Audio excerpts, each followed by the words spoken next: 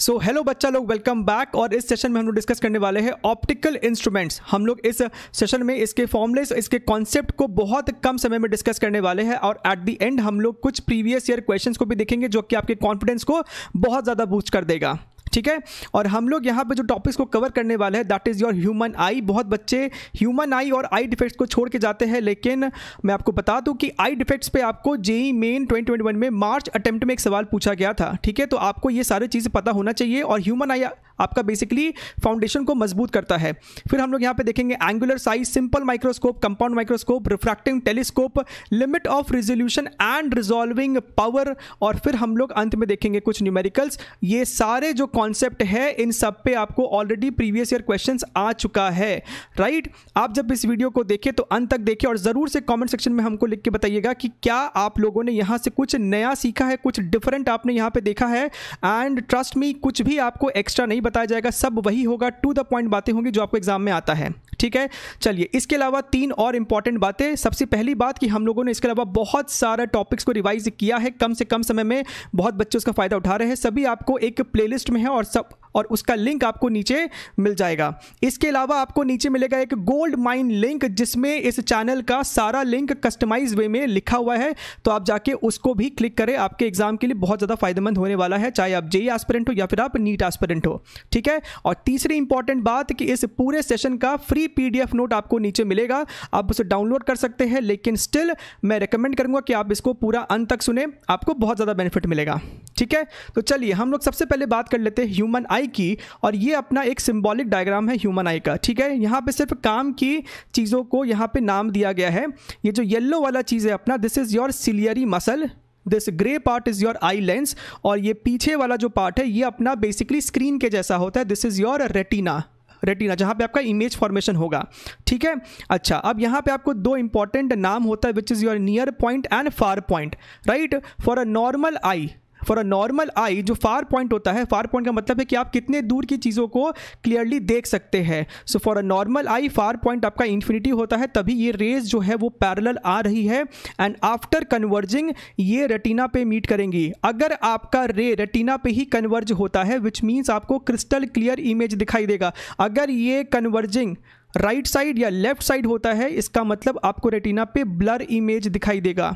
Blur image दिखाई देगा। यही होता है अगर आपके आई में डिफेक्ट होता है फॉर एग्ज़ाम्पल मायोपिया या फिर हाइपरमेट्रोपिया सभी हम लोग इसके नेक्स्ट स्लाइड में भी देखेंगे। बढ़िया है। और जो नियर पॉइंट है, यानी कि हम ऑब्जेक्ट को कितना नज़दीक ला सकते हैं ताकि हम अपने आँख पे बहुत ज़्यादा स्ट्रेस ना दिए हुए एक क्लियर इमेज देख सके।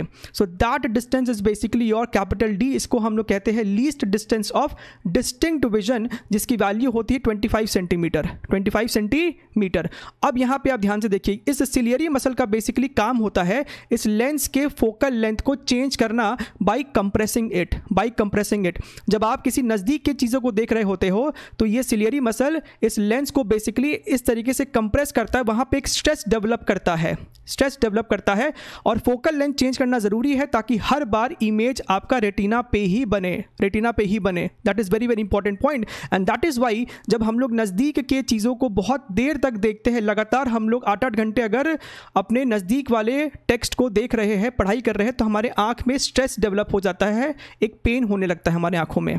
ठीक है? चलिए, अब हम लोग आगे बढ़ते हैं डिफेक्ट्स पे राइट तो ये अपने चार इंपॉर्टेंट डिफेक्ट्स है, जिसके ऊपर आपको पहले भी सवाल आ चुका है। सबसे पहला होता है अपना मायोपिया जिसे हम नियर साइटेडनेस भी कहते हैं। बढ़िया है। अब इस डिफेक्ट में क्या होता है कि हमें दूर की चीज़ें नज क्लियरली दिखाई नहीं देती है। ठीक है? तो ये क्यों हो रहा होता है? Because rays converge before retina तो अगर आपको इसको रेक्टिफाई करना होता है तो आप एक कॉन्केव लेंस अपने आँख के आगे लगाते हो। सो so बेसिकली मुझे भी मायोपिया है तो ये जो लेंस है this is your concave lens concave lens ठीक है? अच्छा हाइपरमेट्रोपिया यानी कि फार साइटेडनेस इसमें हमें नज़दीक के चीज़ें क्लियरली नहीं दिखाई देती है तो इसके लिए हम लोग कॉन्वेक्स लेंस का इस्तेमाल करते हैं, ठीक है? प्रेस बायोपिया प्रेस बायोपिया एक ऐसा डिफेक्ट है जो कि आपको ओल्ड एज के साथ डेवलप हो जाता है। यहाँ पे आपको लिखा हुआ है ओल्ड एज में आपका ये जो आई लेंस है, वो बेसिकली हार्ड हो जाता है, जिस कारण से उसका फोकल लेंथ को वेरी करना मुश्किल हो जाता है। मुश्किल हो जाता है, ठीक है? तो इस कारण से नज़दीक की चीज़ें हमको दिखाई नहीं देती है राइट right? और इसके लिए जो अपना करेक्टिव लेंसेस है, हालाँकि बहुत सारा यहाँ पे आपको सिर्फ़ एक एग्जांपल लिखा हुआ है बाईफोकल लेंस राइट और आपका जो चौथा defect that is your astigmatism जिसमें हमको इमेज डिस्टॉर्टेड फॉर्म होता है। ठीक है? और इसका करेक्शन के लिए वी यूज़ सिलेंड्रिकल लेंसेज अब यहाँ पे आपको एक और इंपॉर्टेंट पॉइंट लिखा हुआ है। Generally it occurs if the eye is myopic और hypermetropic hypermetropic right है? अच्छा और ये क्यों होता है? क्योंकि हमारा जो कॉर्निया होता है, उसका कर्वेचर बेसिकली डिफॉर्म हो जाता है। ठीक है? बढ़िया है। अब बात करते हैं हम लोग एंगुलर साइज़ की। हमारे आँख को कोई ऑब्जेक्ट छोटा दिखता है, बड़ा दिखता है, वो डिपेंड करता है कि वो ऑब्जेक्ट हमारी आँखों पर एंगल कितना सेप्टेंड कर रहा होता है। एंगल कितना सेप्टेंड कर रहा है? किसी बिल्डिंग कि अगर हम नज़दीक खड़े हैं तो वो बिल्डिंग हमें बहुत लंबी दिखाई देती है, लेकिन अगर हम लोग बहुत दूर चले जाए तो वही बिल्डिंग हमें छोटी दिखाई देती है। This all depends on the angle subtended by the object ये आपका सेम हाइट का ऑब्जेक्ट है। ये भी आपका एच ओ लेंथ है, ये भी आपका एच ओ लेंथ है। लेकिन ये ऑब्जेक्ट नज़दीक है तो आप देख सकते हैं ये थीटा टू एंगल सबटेंड कर रहा है। लेकिन यही वाला ऑब्जेक्ट अब थीटा वन एंगल सबटेंड कर रहा है और आपको यहाँ पे दिख रहा है कि ये थीटा वन आपको थीटा टू से छोटा है। इसी थीटा को हम लोग बोलते हैं यहाँ पे एंगुलर साइज़ और आप देख सकते हैं थीटा वन जो आपका होगा that is going to be और H naught by X one and theta two is going to be और H naught by X two बढ़िया है? यहाँ पे ये सारे एंगल्स आपके स्मॉल एंगल्स हैं। बढ़िया है। अब हम लोग बात करते हैं सिंपल माइक्रोस्कोप की। We have made the understanding of angular size अब हम लोग घुसते हैं सिंपल माइक्रोस्कोप में। ये अपना रेफरेंस पॉइंट है। रेफरेंस पॉइंट कहने का क्या मतलब है? हम किसी ऑब्जेक्ट को जितना नज़दीक लेके आएँगे, हमको उतना बड़ा एंगल सबटेंड होता है। हम लेकिन मैक्सिमम कितना बड़ा एंगल सबटेंड करवा सकते हैं that will be defined by capital D क्योंकि इससे नज़दीक हम ऑब्जेक्ट को ला नहीं सकते। इससे नज़दीक हम ऑब्जेक्ट को ला नहीं सकते अदरवाइज़ इमेज ब्लर फॉर्मेशन चालू हो जाएगा। बढ़िया है। तो यहाँ से हमने ये डिफाइन कर दिया कि angular size of the object is equal to H O by D H O by D height of object upon D where D is twenty five centimetre right for a normal eye बढ़िया है। लेकिन still this object is very very small still we are not able to see it clearly हमको इसको zoom करना, हमको इसको बड़ा करके देखना है।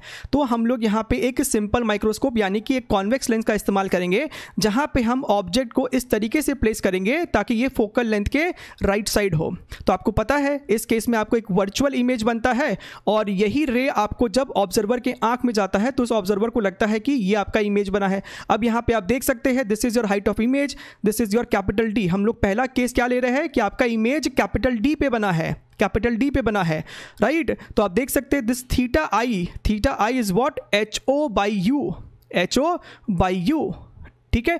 एच आई बाई डी मत ले लेना। राइट हमें यहाँ पे एक फॉर्मूला ड्राइव करना है। So theta I is equal to H O by U और यू हम लिख सकते हैं by using your lens formula right? ये आपका ऑब्जेक्ट डिस्टेंस ये आपका इमेज डिस्टेंस और इस लेंस का कोई फोकल लेंथ होगा। तो ये आपको जगह D F upon D plus F लेकिन आपको ध्यान रखना है कि यहाँ पे आपको वैल्यू सिर्फ़ मैग्नीट्यूड में पुट करना आपको आप साइन का चिंता नहीं करना है।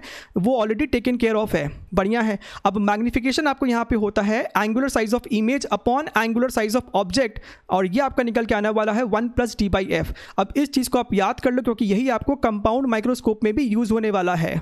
ठीक है? अच्छा।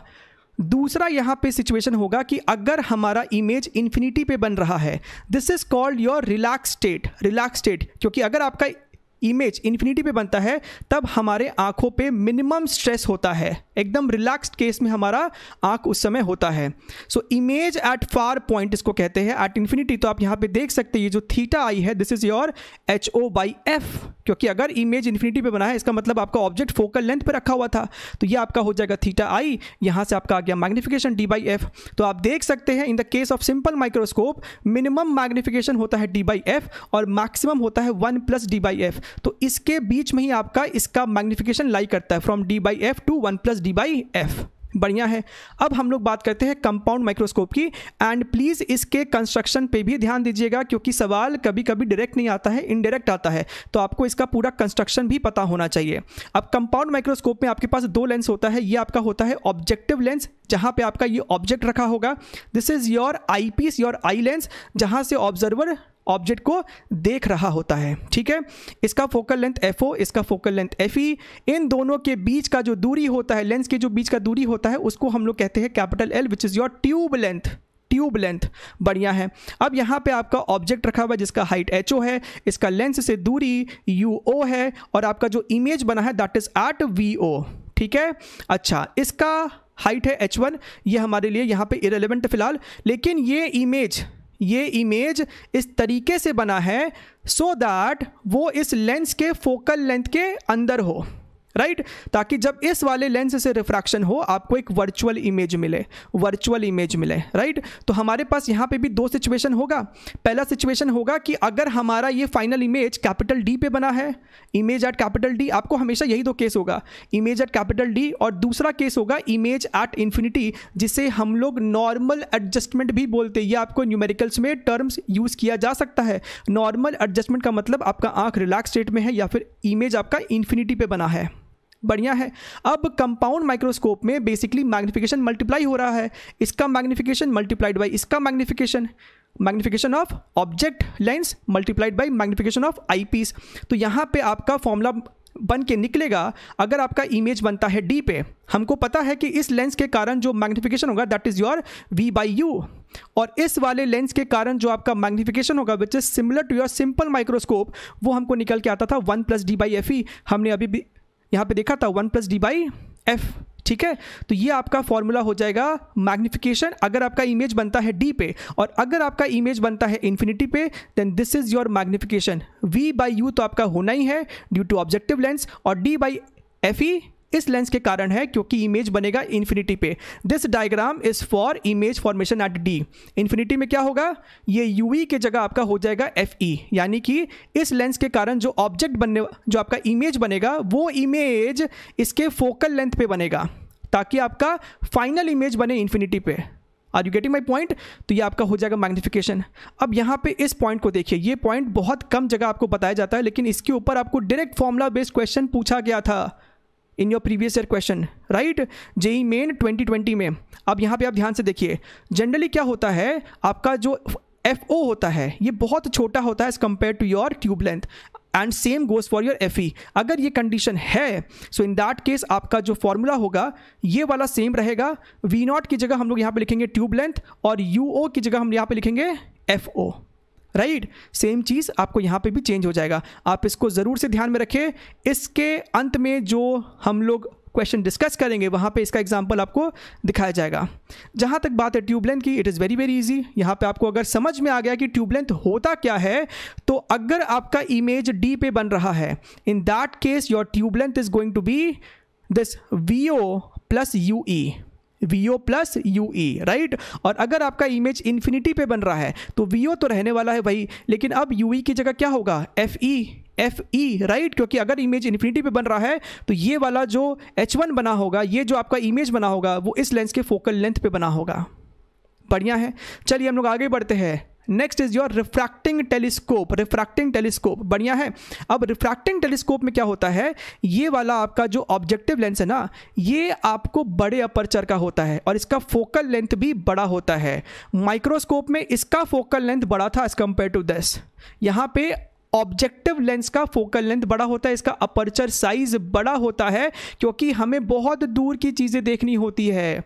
हमें स्टार्स को देखना होता है, वो बहुत दूर से आ रहा है, उसका जो लाइट है, वो बहुत डिस्टेंस ट्रैवल कर रहा है तो लाइट फेड आउट हो जाता है। सो वी वॉन्ट ज़्यादा से ज़्यादा लाइट को हम लोग कैप्चर करें इन दिस लेंस सो इसीलिए इसका अपर्चर साइज़ ज़्यादा होता है। एक तो ये चीज़ आपको पता होना चाहिए। और उसके बाद यहाँ पे भी आपको वही नॉमिंग है, ये आपका एफ़ है, या आपका एफ़ है this is your tube length right ये अपना ऑब्जर्वर है। बढ़िया है। अब यहाँ पे आप ध्यान से देखिए।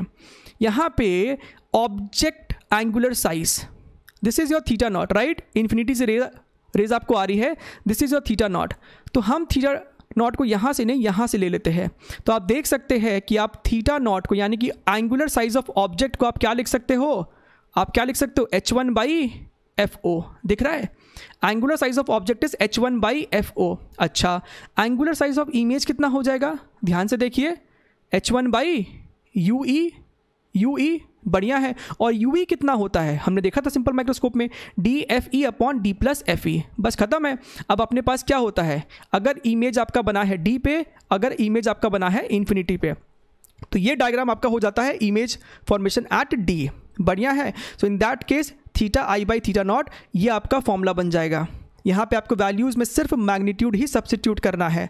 जहाँ तक बात आता है image formation at infinity infinity पे इमेज कब बना होगा? वेरी लॉजिकल राइट अगर ये वाला जो इमेज है एच वन इमेज अगर इस वाले लेंस के फोकल लेंथ पे बनेगा, तभी आपको फाइनल इमेज इन्फिनिटी पे बनेगा। इसका मतलब यू e को हमको रिप्लेस कर देना है। क्या चीज़ से? एफ़ ई e से एफ़ ई e से। तो ये अपना फॉर्मूला हो जाता है F O by F E very easy to remember F O by F E tube length अगर आपका इमेज डी पे है then this is your tube length अगर आपका इमेज इन्फिनिटी पे है then this is your tube length F O plus F E ठीक है? अच्छा अब हम लोग बात करते हैं limit of resolution and resolving power बहुत कम बच्चों को ये चीज़ सही तरीके से समझ में आता है। राइट? right? ये बेसिकली आपको डिफ्रैक्शन का पार्ट होता है, लेकिन क्योंकि ऑप्टिकल इंस्ट्रूमेंट से ये रिलेटेड है, इसी एक वीडियो में आपको ये डिस्कस किया जा रहा है। We have separately discuss diffraction interference and everything in a separate video ठीक है? अच्छा लिमिट ऑफ़ रेजोल्यूशन में यहाँ पे सीधे एग्ज़ाम्पल से बात करते हैं। ये आपके पास दो ऑब्जेक्ट है राइट right? ये कुछ डी डिस्टेंस से सेपरेटेड है, और हमारे आँख से ये किसी डिस्टेंस पे है। ये थीटा वन एंगल सबटेंड कर रहा है। तो जब इसका रिफ्रैक्शन होगा तो रेटिना पे कहीं इमेज बनेगा, और दोनों का इमेज भी काफ़ी सेपरेटेड है सेपरेटेड है. So we are able to clearly distinguish between both the objects बढ़िया है. लेकिन अगर हम इसे दोनों ऑब्जेक्ट को और दूर ले जाए, आप देख सकते हैं, हमने इसे दूर ले गए. तो आपको दिख रहा है ना कि ये दोनों इमेज भी नज़दीक आ गए. अगर हम इसको और दूर ले जाए और दूर ले जाए हम लोग इसको। तो आप देख सकते हैं कि किस तरीके से दोनों इमेज और नज़दीक आ गई है। यानी कि एक ऐसा सिचुएशन आ सकता है कि जब दोनों इमेज फॉर्मेशन ऑलमोस्ट ओवरलैप कर जाए and in that situation you won't be able to distinguish between the two objects right अगर आप डिस्टिंग्विश कर पा रहे हैं, उसी को कहते हैं रिजॉल्व कर देना। Image are resolve images are resolve right तो हमको एक लिमिटिंग केस की बात करनी होगी। वो कौन सा मिनिमम थीटा है? वो कौन सा मिनिमम थीटा है जिसके लिए आपको इमेजेस जस्ट रिजॉल्व है? उसी को हम लोग कहते हैं लिमिट ऑफ़ रिजोल्यूशन उसी को हम लोग कहते हैं यहाँ पे limit of resolution minimum angle of theta for which the images are just resolve right और उसके इनवर्स को हम लोग कहते हैं resolving power resolving power right so that is the whole concept behind it अगर हम लोग यहाँ पे आई की बात करें, ये दोनों आपका ऑब्जेक्ट है, इनके बीच का सेपरेशन स्मॉल डी है। आई का जो ये लेंस है, उसका अपर्चर साइज़ को कैपिटल डी बोला जा रहा है एंड ऑब्जेक्ट्स का डिस्टेंस आई से एक्स है। ठीक है? सो ये हो गया वो minimum theta minimum theta that is for which images are just resolve so that theta is given by one point two two lambda by capital D D is the aperture size तो resolving power इसका उल्टा हो जाएगा। और अगर आपसे कोई इस डी के बारे में पूछता है तो ये डी आपको कितना हो जाएगा? X into theta X into theta ठीक है? कहीं कहीं पे आपको ये लिखा हुआ मिलेगा कि ये डी को ही बोला जाता है लिमिट ऑफ़ रेजोल्यूशन ठीक है? तो डिपेंड करता है, आप अपने सवाल को पढ़ लीजिएगा, आप चार ऑप्शन को देख लीजिएगा कि आपसे ये एंगल पूछा जा रहा है या फिर आपसे इन दोनों के बीच का सेपरेशन पूछा जा रहा है। ठीक है? टेलीस्कोप सेम चीज़ ही है। यहाँ पे ये दोनों ऑब्जेक्ट की जगह, ये दो आपको स्टार्स हो सकता है right two stars will be just resolve if theta is equal to one point two two lambda by capital D way D is what D is the aperture size of the objective lens right objective lens and resolving power इसका उल्टा हो जाएगा। तो आपको यहाँ पे relation भी ध्यान में रखना है। Resolving power is proportional to D inverse related to lambda तो अगर आपका डी बढ़ता है, अगर आपका डी बढ़ता है तो रिजॉल्विंग पावर भी बढ़ता जाता है। लैमडा घटता है तो रिजॉल्विंग पावर अगेन बढ़ता है। ठीक है? अच्छा अब बात करते हैं माइक्रोस्कोप की। इसकी बात बहुत कम लोग करते हैं, लेकिन इस पे आपको डायरेक्ट फॉर्मूला बेस्ड क्वेश्चन पूछा गया था प्रीवियस ईयर वो एग्जांपल आपको लास्ट में दिखाया जाएगा। माइक्रोस्कोप में आप इसके डेरिवेशन में ना पढ़े, लेकिन एनसीईआरटी में आपको सेम चीज़ दिया हुआ है। यहाँ पे आपको सिखाया जाएगा कि आपको फॉर्मूले को यूज़ कैसे करना है। तो ये अपना ऑब्जेक्टिव लेंस है ऑफ़ द माइक्रोस्कोप ठीक है? ये फॉर्मूला आपको याद रखना है। This is your D minimum यानी कि दोनों ऑब्जेक्ट के बीच का मिनिमम सेपरेशन क्या होना चाहिए for it being just resolve so this is your one point two two lambda upon two mu sine beta lambda आपको समझ में आता है, ये वेवलेंथ हो गया। म्यू क्या है? Mu is a refractive index between the lens and the object यहाँ पे जो भी रिफ्रैक्टिव इंडेक्स ऑफ़ मीडियम है। बीटा क्या है? Beta is the half angle subtended by the aperture this lens at the focus इस लेंस का जो फोकस होगा, वहाँ पे कितना एंगल सबटेंड कर रहा है दिस इज़ योर बीटा आपको डायग्राम के थ्रू समझाया भी जा रहा है। This is your half angle beta right इसी का उल्टा कर दो तो रिजॉल्विंग पावर अब यहाँ पे आपको एक बहुत इंपॉर्टेंट पॉइंट है म्यू साइन बीटा इस म्यू साइन बीटा को कहा जाता है न्यूमेरिकल अपर्चर एन ए और यही आपसे पूछा गया था पी वाई क्यू में। What is the numerical aperture आपको ये फॉर्मूला यूज़ करना था। ठीक है? चलिए, आगे बढ़ते हैं हम लोग। अब हम लोग आ जाते हैं अपने प्रीवियस ईयर क्वेश्चन में, ठीक है? तो यहाँ पे आपके पास आपका सबसे पहला सवाल है, आप चाहो तो वीडियो को यहीं पे पॉज करो, इसको खुद से सॉल्व करो और फिर इसका सोल्यूशन आप देख सकते हो। चलिए तो यहाँ पे सवाल में हमसे कहता है the aperture diameter of a telescope is five metre आपको टेलीस्कोप का अपर्चर डायमीटर यानी कि कैपिटल डी दे रखा है। Separation between the moon and the earth is this much with light with light of wavelength this much, the minimum separation between the objects on the surface of moon so that they are just resolved तो आपसे small D पूछा जा रहा है। समझ में आ रहा है? ये दोनों ऑब्जेक्ट्स बेसिकली आपको मून पे है और ये आपका जो टेलीस्कोप है वो अर्थ पे है। Right right? अर्थ और मून के बीच का दूरी हमें दे रखा है four into ten power eight metres आपको स्मॉल डी पूछा जा रहा है। So small d is equal to what x into theta x into theta और थीटा का हमारे पास फॉर्मूला है। डेटा को पुट कीजिए आंसर लेके आइए। बहुत बढ़िया। तो आप देख सकते हैं, सवाल इजी है डिफ़िकल्ट नहीं है, लेकिन आपको फॉर्मूला कॉन्सेप्ट तो पता होना चाहिए कम से कम। The value of numerical aperture ध्यान से देखिएगा। The value of numerical aperture of the objective lens of a microscope is 1.25 तो ये 1.25 क्या है? Mu into sine beta mu into sine beta if light of wavelength five thousand angstrom is use the minimum separation between two point to be seen as distinct will be how much तो direct formula based question है. D minimum आपसे पूछा जा रहा है. One point two two lambda point two mu sine beta हमारे पास mu sine beta की वैल्यू दे रखी है. This is your numerical aperture तो आपको म्यू साइन बीटा को रिप्लेस करना है वन पॉइंट टू फाइव से. सब्सिट्यूट कीजिए. डेटाज को पुट कीजिए. आपको आंसर निकल के आ जाएगा. बताइए, और क्या चाहिए अपने को? ये अपना थर्ड क्वेश्चन है. ध्यान से देखिए। A compound microscope of an objective lens of focal length one centimetre आपको FO दे दिया है an eyepiece of focal length five centimetre आपको एफ़ ई दे दिया है। सवाल पढ़ते चलिए और जल्दी जल्दी यहाँ पे आप गिवन चीज़ों को लिखिए। That is how you solve in examination also with a separation of ten centimetre आपको ट्यूब लेंथ दे दिया है। The distance between an object and the objective lens at which the strain on the eye is minimum अब ये होता है concept आपने formula रट लिया आपको, लेकिन नहीं इसका वर्किंग पता है नहीं आपको इसका कंस्ट्रक्शन पता है। आपसे सवाल में कह रहा है at which the strain on the eye is minimum आपके आँखों पे तनाव सबसे कम कब होता है? जब आपका फाइनल इमेज इन्फिनिटी पे हो। At that time your eye is at relax state बढ़िया है। अब आप ध्यान से देखिए। आपको एफओ दिया है, आपको एफ़ ई दिया है कैपिटल एल दिया है। ये आपका हो गया कंपाउंड माइक्रोस्कोप का कंस्ट्रक्शन छोटा वाला f o and this is your f e हमसे सवाल में चाहता है कि फाइनल इमेज बने इन्फिनिटी पे। फाइनल इमेज इन्फिनिटी पे कब बनेगा?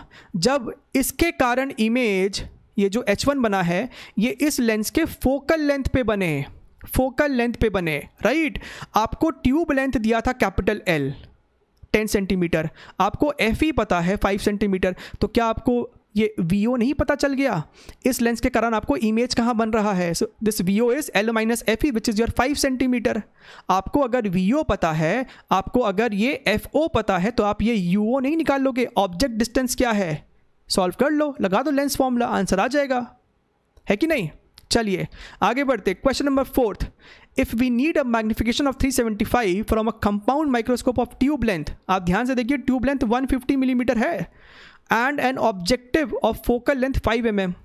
Tube length 150 and f o only five तो क्या ये वो कंडीशन नहीं सेटिस्फाई कर रहा है? F o is much much smaller than capital L the focal length of eyepiece should be close to अब अगर आपको ये वाला फॉर्मूला नहीं पता है तो आप इस क्वेश्चन में स्ट्रगल करते रह जाएँगे। आपको ये फॉर्मूले में डायरेक्ट वैल्यूज़ को सब्सिट्यूट करना है, आपको यहाँ से एफ़ ई निकालना है and you are good to go ठीक है? चलिए ये सवाल देखिए 1992 का है राइट पहले भी और बाद में भी ये सवाल आपको रिपीट हुआ है पी वाई क्यूज़ में। Still not tough, but conceptual. The resolving power of electron microscope is higher than that of an optical microscope because the wavelength of electron is. तो आपको इन दोनों माइक्रोस्कोप के बारे में जानने का कुछ भी ज़रूरत नहीं है। हाँ आपको बस ये जानना है कि रिजॉल्विंग पावर का रिलेशन क्या होता है। Resolving power is inversely related to lambda तो अगर आर पी ज़्यादा है, इसका मतलब वेवलेंथ कम रहा होगा तो यहाँ पे स्मॉलर हो जाएगा राइट आई होप आपको ये पूरा सेशन समझ में आया है। इंटरेस्टिंग भी लगा होगा, आपने बहुत सारी नई चीज़ें यहाँ पे सीखी होंगी। सीखी है तो ज़रूर कमेंट सेक्शन में हमें यहाँ पे लिख के बताइएगा। अगर आप चैनल पे नए हैं तो इसको ज़रूर से सब्सक्राइब कीजिएगा। बेल आइकन को हिट कीजिएगा, लाइक कीजिएगा, अपने दोस्तों के साथ इसको शेयर कीजिएगा, ठीक है? हम लोग बहुत सारे कंटेंट ऑलरेडी अपलोड कर चुके हैं और बहुत सारे हम लोग कंटेंट को अपलोड करेंगे। तब तक के लिए बने रहिए टेक केयर बाय